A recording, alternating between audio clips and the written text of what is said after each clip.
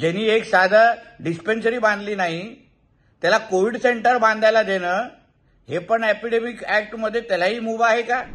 आणि मी असं ऐकलेलं की सोनू सूदकडून खंडणीचा पैसा मागितलेला पाच कोटी मागितलेले ती मातोश्री सोडून मातोश्री दोन बांधण्या बांधण्याची तुझ्या मालकाच्या काय गरज होती?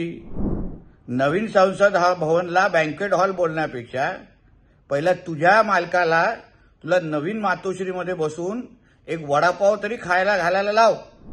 संजय राजाराम राऊतचं म्हणणं आहे की कोविड काळामध्ये महाविकास आघाडीच्या काळात आदर्श काम झालं आरोग्य खात्याचं.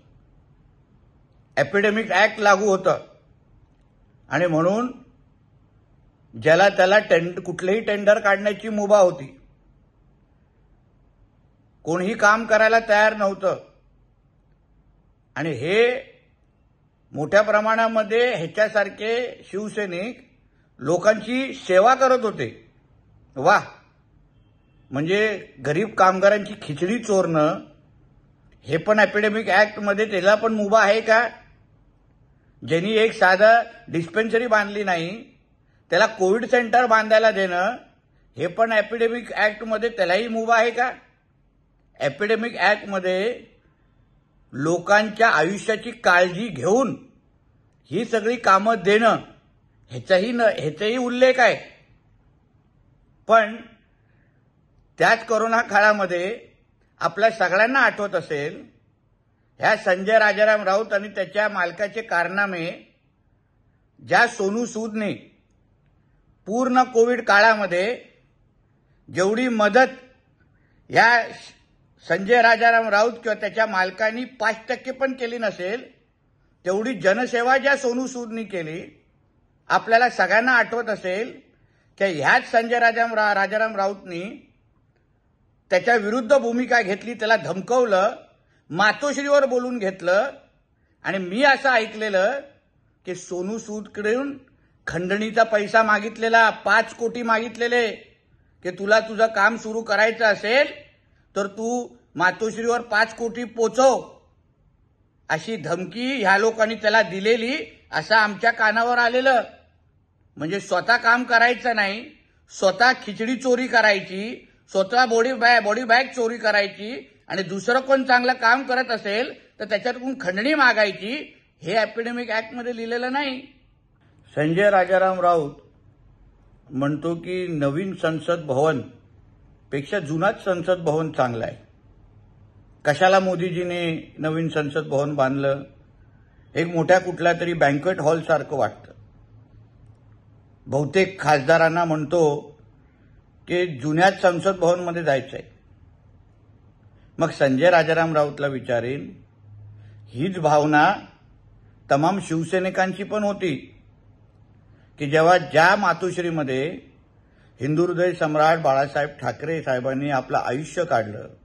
पूर्ण कुटुंबियांनी कुटुंब राहत होतं होते. ती मातोश्री सोडून मातोश्री दोन बांधण्या बांधण्याची तुझ्या मालकाच्या काय गरज होती? त्यासाठी मुंबईला लुटण्याची काय गरज होती? आणि ह्या नवीन तुझ्या मातोश्रीमध्ये जे आम्ही ऐकलंय बँकेट हॉलपेक्षा कमी नाही. तिथे तुझ्यासारख्या किंवा सामान्य शिवसैनिकांना साव शिवसैनिकांना जा येण्याची परवानगी तरी आहे का?